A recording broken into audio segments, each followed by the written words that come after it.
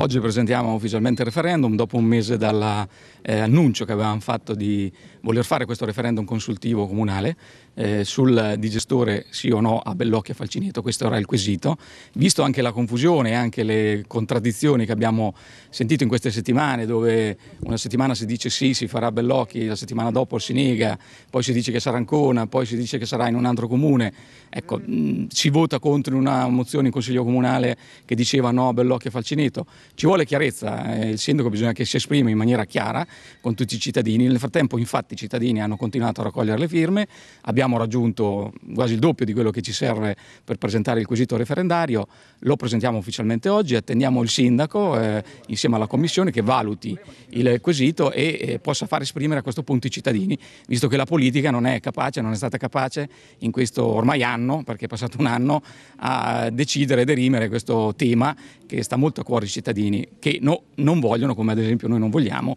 un uh, tipo di impianto così come eh, a Bellocca Falcineto.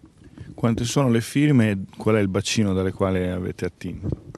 Ma eh, zone comunque periferiche in questo momento abbiamo fatto degli incontri, Carrara, Cucurano, Falcineto, Bellocchi, Rosciano, Centinarola, anche Sant'Orso, però altri ne vorremmo fare, un altro ad esempio lo abbiamo già lunedì a Rosciano, quindi in questi incontri poi a questo punto non raccoglieremo più le firme per il referendum, ma comunque la petizione popolare va avanti, chi vuole può sottoscrivere la nostra proposta referendaria.